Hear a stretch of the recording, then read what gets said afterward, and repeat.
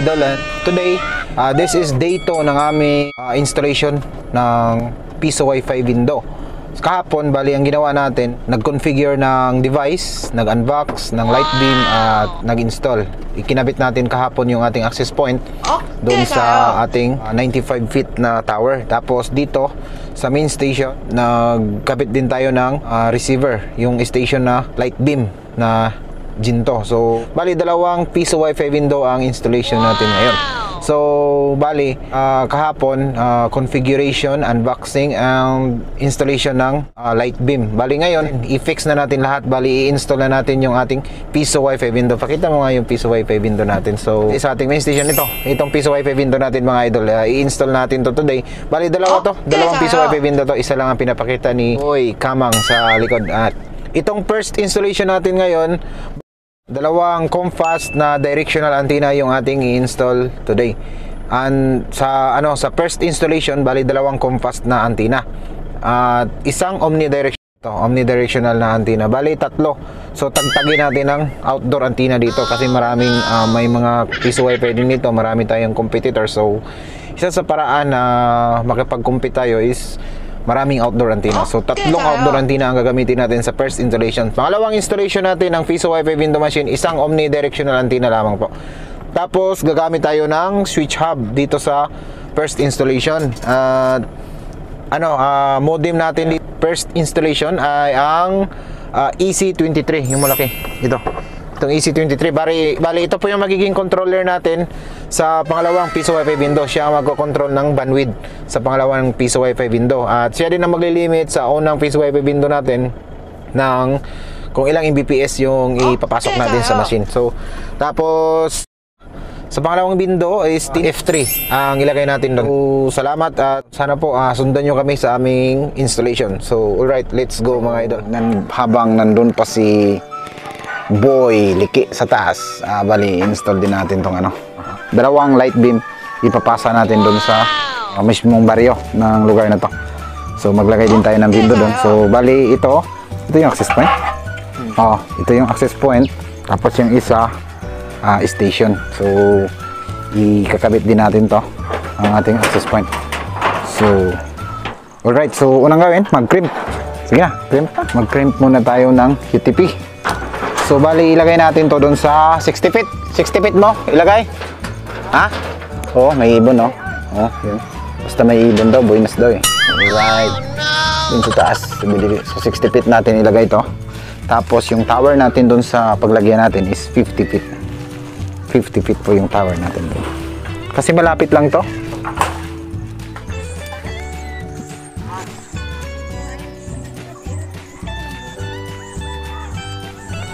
Di kay mo man mo pasay lang yudan eh. Kini panduha na mo itaod.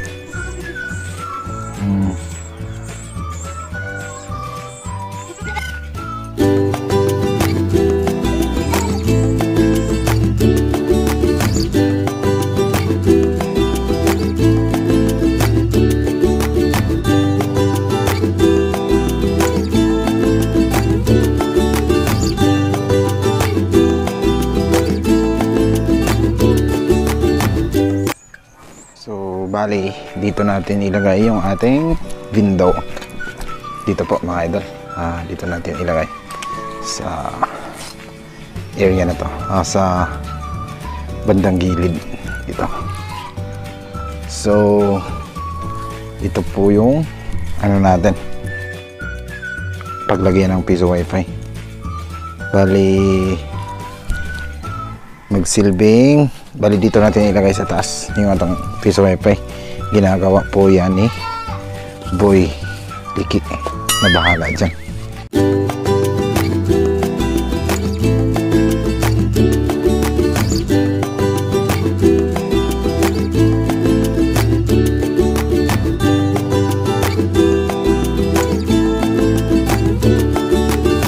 Bali, dito po natin ilalagay yung ating piso wifi window machine. So, alright mga lods.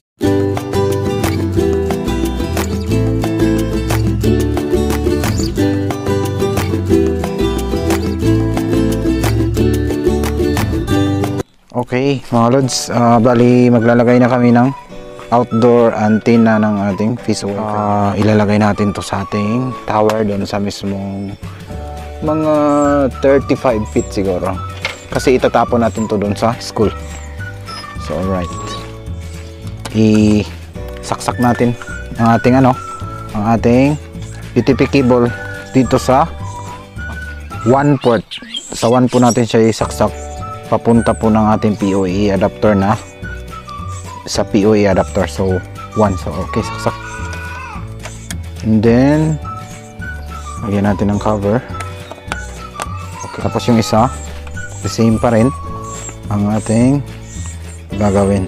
So, ito yung aning LAN cable. The same pa rin ang gagawin natin sa isang compass. Bali, itong compass natin mga idol is compass uh, directional antenna EW uh, CF314 version 2 pala.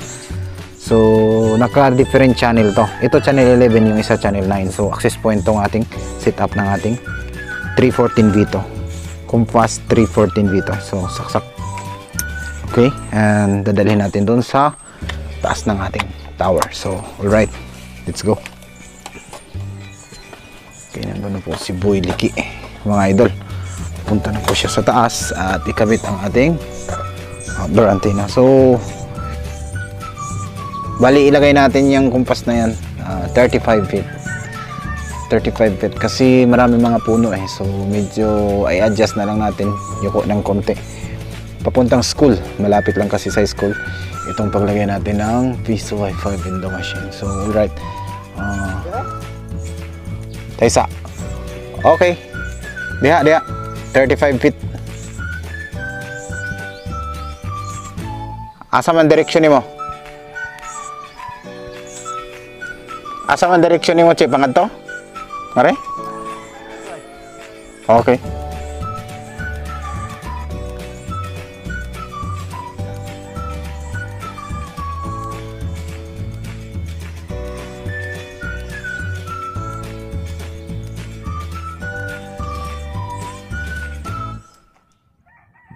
Okay, ah, ito po yung situation sa taas. So, yun po yung mga schools, yung kulay green na mga ah, buildings. So, ah, bali naka-point po itong ating ah, isang directional antenna. So, ah, bali dito sa gilid may mga bahay, you know, may mga boarding house. So, ah, sa pool ng ating ah, CF314 version 2 na outdoor antenna. So, ito po yung 35 feet ang taas kung saan naka-direction po yung ating outdoor ah, antenna.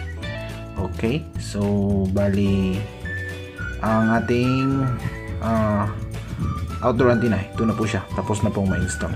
Okay, alright. Naka-point na siya sa mga bahay at school. So ayun na, tapos na po yung ating installation ng Wi-Fi outdoor antenna na compass na directional. So alright. Proceed tayo dito sa POE. POE papuntang switch hub. Alright.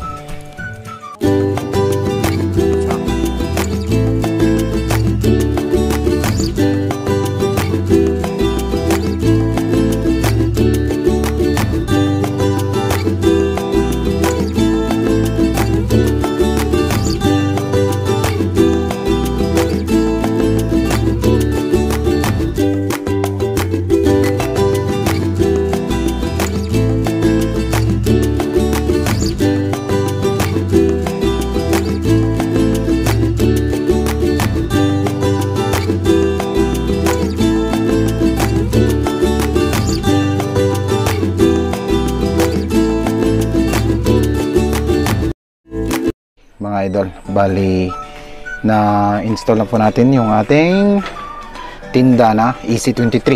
Ito po yung magiging bandwidth control ng ating mga radio dito. So switch hub, so switch hubs na 5 ports. Bali papalitan natin to ng 8 ports. Bali dalawang switch hub talaga ilagay natin dito mga idol. So bali maglalagay pa din tayo ng ah, UPS dito na battery dito sa baba. Tapos another switch hub naman na ikabit natin dito sa ating EC23. So, dalawang radio ang nakakabit dito sa ating ah, tower. So, ayun po.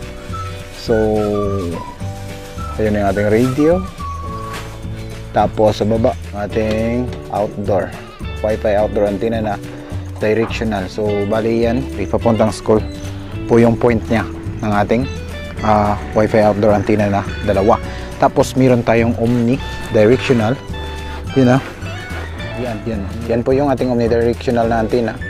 EW71. So, bali tatlong outdoor. Wi-Fi outdoor antenna yung nilagay na po yung tarpaulin natin. At yung piso Wi-Fi window machine pala natin. Ito. Bali, coin slot lang yung ano natin. Pina binutasan lang natin para sa coin slot para mas safety po yung ating piso Wi-Fi window machine. So, pasukin natin sa loob. Tingnan natin yung setup.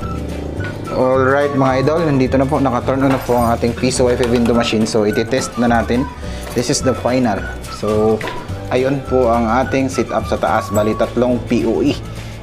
Tatlong access point, Wi-Fi outdoor antenna, at tatlong POE. So, papunta siya. Tatlong POE papuntang switch hub. Yung kulay blue na LAN cable. Tapos, yung switch hub, LAN port number 1, papunta sa ating uh, USB to LAN dito sa ating piso Wi-Fi window machine. Alright. So, let's go at itest natin ang ating machine, mga idol. Alright, mga idol. Uh, connect tayo sa ating Okay, nakakonect na pala tayo sa ating Tinda main Wi-Fi 5G. So, ito yung main na bandwidth control natin sa ating mga devices.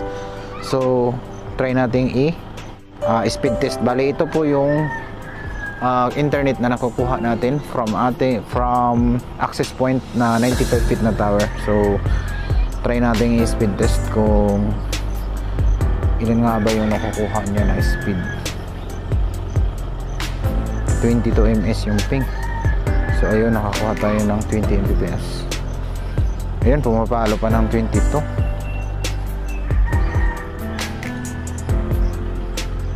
alright So, nakakuha nga siya ng 25 Mbps.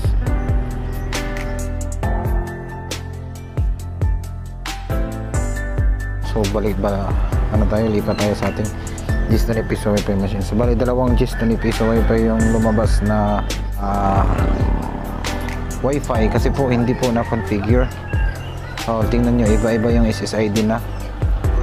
Iba-iba kasi yung SSID na nalagay sa ating access point. So pero kahit saan dyan pwede naman. Walang problema. So try natin mag connect mga idol and tika muna. Uh, later natin ano muna natin isit muna natin yung 10 pesos sa 3 hours. So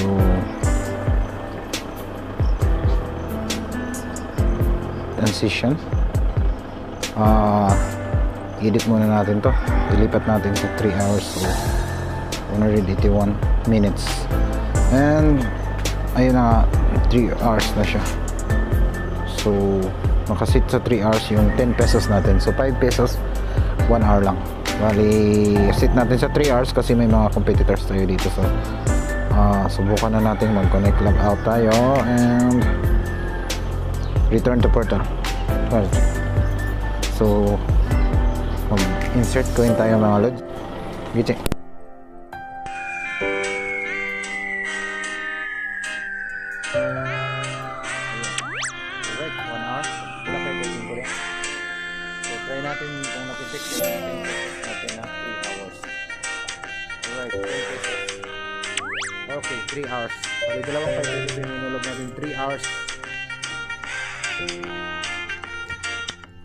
Lods, uh, bali 3 hours nag-effect po yung ating uh, 10 pesos na binago 3 hours po yung 1 uh, 10 pesos na hulog bali dalawang 5 yun uy, hindi mo ba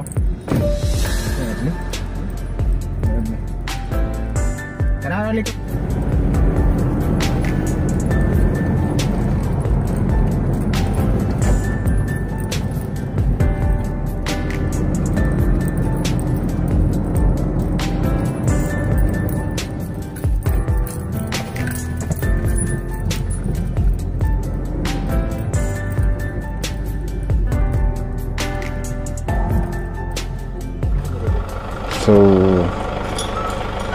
sa taas, ilagay natin ang ating light beam 5AC Ginto. So, of course, full body harness. si Boy Liki bago sa salang sa taas. Safety first tayo mga lods. Prepare UTP cable and crimping tools and and radio. Kita. Radio. So itong radio natin. Ah yun nga station to. Station number 2 okay alright let's go. Step is crimping UTP cable mag crimp muna kami ng aming UTP cable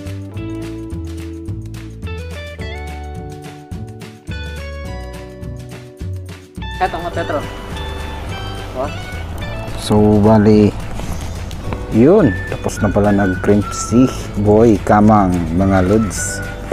Pagkatapos natin mag-crimp, ilagay natin sa ating light beam.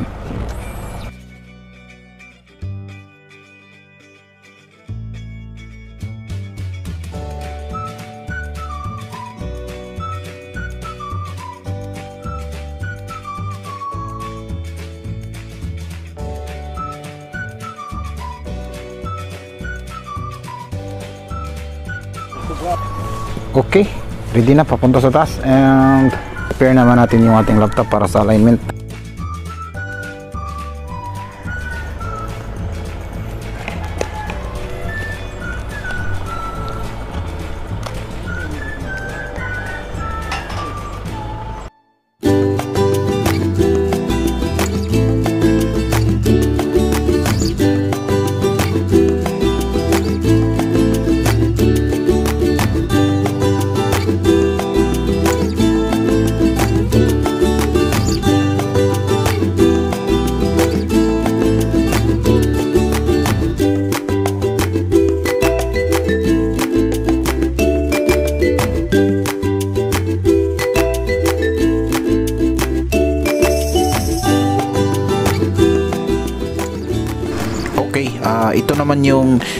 Situation sa taas na kung saan nakakabit ang ating light beam 5EC Ginto. So, okay ganda, okay ganda ng ah, background dito sa taas mga idol. So, ayun, napakaraming bahay at malapit sa dagat at napakalamig ng simoy ng hangin. So, alright, napakaganda dito sa taas mga idol at kitang-kita po natin yung view. So nandito po tayo sa 50 feet o sa pinakataas ng ating tower. So hindi na masyado mataas dahil malapit lang po ito sa ating ah, pinaglagyan ng access point sa ating main station tower. So 50 feet po ito. So okay. So proceed tayo sa ating ah, land cable. Crimp na tayo ng ating dulo. Bali tapos na po yung pagkabit ng ating light beam ginto sa taas mga idol. So yung dulo papunta dito sa baba uh, mag crimp ng UTP cable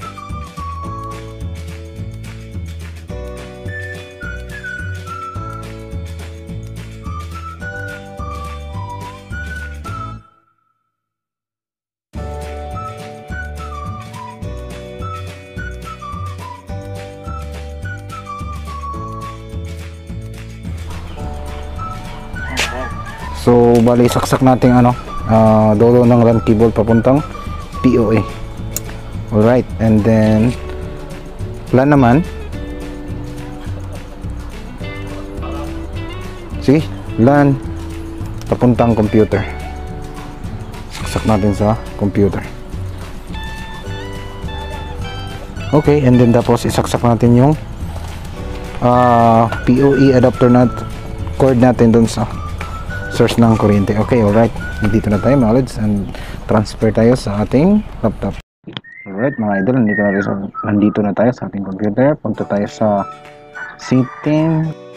Tapos network and sharing center. And tapos Ethernet properties Internet protocol version 4 and use the following address uh, 192.168.88.20 alright tapos on submit must click and then okay right ulit na tayo sa Chrome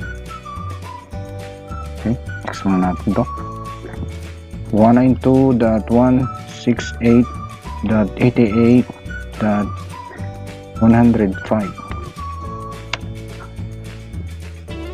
Okay, punta tayo sa advance and proceed to 192.168.88.105 So, pupunta tayo sa username, yung admin, ginawa natin kanina, tapos password.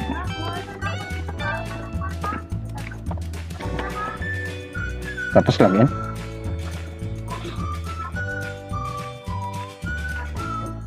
Alright, yun na nga mga idol. So, malapit lang kasi siya. 1.2 kilometer lang ang layo galing dun sa ating main station. So, ito na nga siya. So, napaka linis ng ano.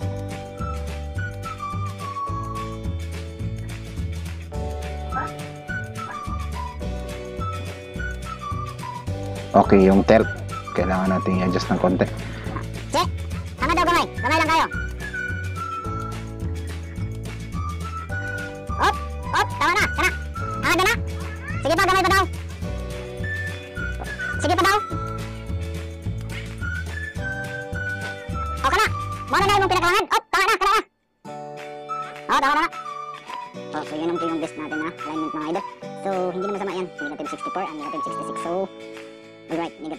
Negative 60. 60 dB ang best and negative 57 and negative 60. Okay, o na. Okay na na siya. So, ito po yung true output capacity niya. 155 o 115. So, okay na Okay ba ito?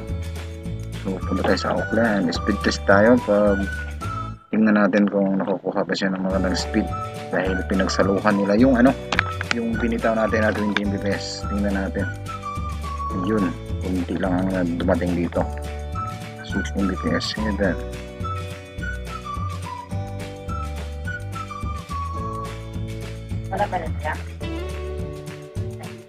Alright, 18 Mbps lang ang dumating. So, okay na to, hindi na pa. Ano na lang, ah, ayusin na lang natin ulit to. ah, marami ang customers at maraming kukonek sa ating piso 5 motion. Alright, okay na ito mga idol and let's proceed na tayo um, sa ating installation ng 5 window machine. Alright. Okay, proceed tayo sa next steps. Bali, ikakabit natin ang ating ah, outdoor ah, Wi-Fi antenna, ang ating access point doon sa taas ng tower. Okay, let's go!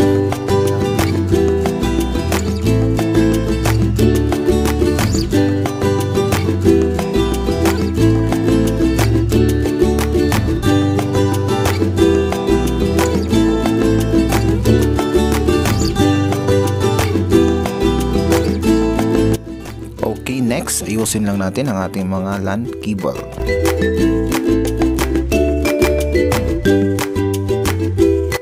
Okay, prepare natin ang ating ah, window machine at saka yung ating ah, tinda na F3 ating ah, receiver ng internet from radio. So, saksak natin sa 1 tapos yung ating window machine isaksak natin sa LAN ports na number 1. Okay? Bali, ilagay natin tong ating ah ang tinda F3 ng lalagyan pinag ginawan talaga namin lalagyan para safety mga idol all right okay let's go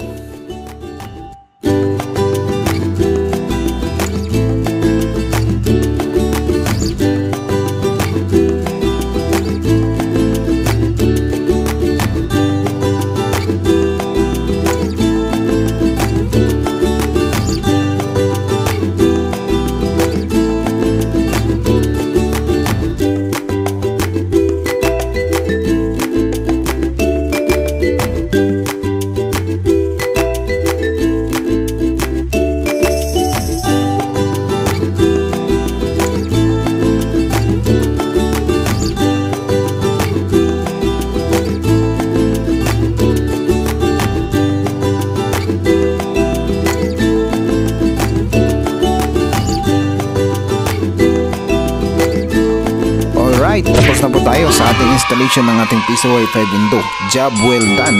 Next natin gawin is mag lagay na lang tayo ng tarpaulin para mapansin ng mga tao na meron na ditong piso wifi window sa ating ah, nilagyan. Okay, let's go. Alright. Salamat po sa inyong mga panonood mga Lodi Bells at mga idol. Okay.